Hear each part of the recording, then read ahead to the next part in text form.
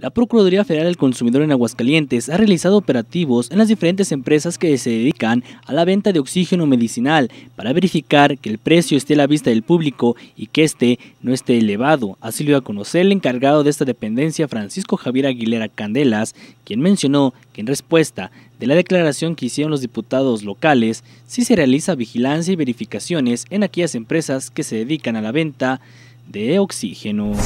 Ese que hemos estado monitoreando, monitoreando como se hace cada, cada semana, el monitoreo de combustibles.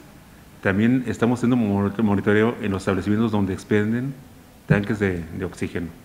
Esto para evitar el no condicionar, que, condicionan la gente a, la compra del mismo, que se expendan, que sea el precio visible entonces no hay ninguna justificación para el incremento. Este, pues ahora sí que también se hace limitación a la, a la población en general, a los consumidores, de que en caso de que, de que vean de que el precio saltó de un momento a otro en forma injustificada, pues están las líneas abiertas del, del consumidor y hagan la denuncia correspondiente. Aguilera Candelas agregó que a nivel nacional se han identificado 700 páginas en Internet que se dedican a la venta de oxígeno medicinal, las cuales ya fueron canceladas, ya que éstas solicitaban a los usuarios realizar un depósito para luego hacerles llegar a su domicilio el tanque de oxígeno, lo cual no sucedía.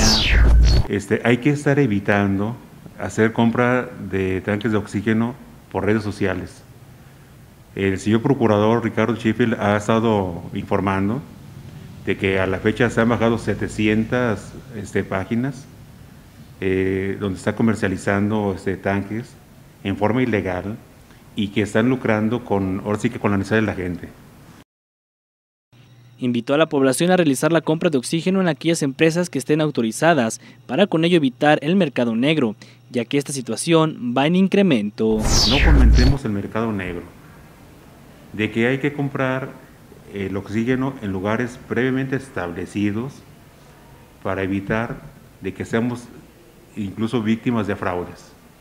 Porque ¿qué es lo que pasa? De que la gente por la necesidad este, van a lo fácil, a las redes sociales, te están entregando tanques que no son de uso médico, son de uso industrial. Y el riesgo de dar oxígeno industrial, que no es médico. Ese, en el mejor de los casos, que les llegaron a entregar el, tanque. Pero en el peor de los casos es que no les entrega nada y ya depositaron dinero. Por último, resaltó que a la fecha no se han recibido quejas o denuncias en la dependencia por parte de la población donde manifiesten que el costo del oxígeno se encuentre elevado. Y hasta el momento no se ha recibido ninguna queja formal aquí en Profeco de Aguascalientes, no se ha recibido y ahora sí que estamos con la apertura, con los teléfonos del consumidor y con todo gusto atenderemos cualquier demanda del consumidor. Con imágenes de Oscar Lueva reportó para informativo Juan Miguel Villalobos de Luna.